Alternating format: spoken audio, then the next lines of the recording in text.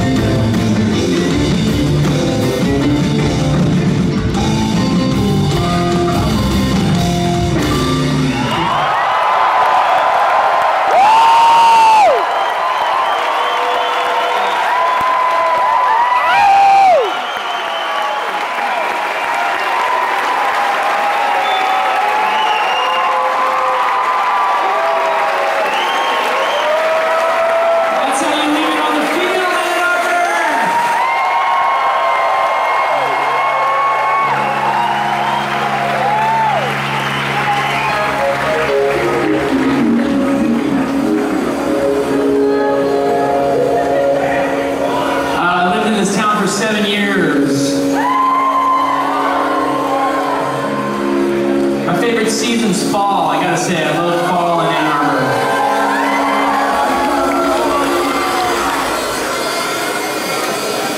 But you know what? Summer's great too. Yeah. I remember the first summer that I didn't go back to New York. Instead, I stayed here. And I met a bunch of amazing people, amazing musicians, got a restaurant job. Scene, you know, really feeling